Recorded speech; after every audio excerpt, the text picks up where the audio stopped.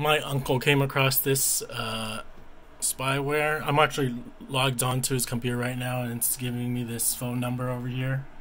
It's the first time I'm seeing it. Uh, I'm not sure why it's showing up. Maybe there's an issue. I don't really have any big websites open, but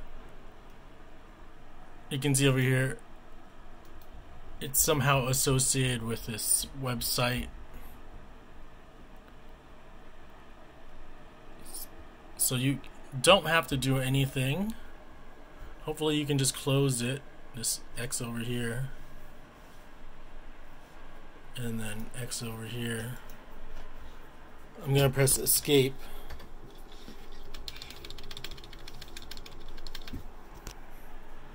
Because if you open a new tab browser here, it disappears. So it has to do with something with the URL that I visit, or maybe there's a virus on this, but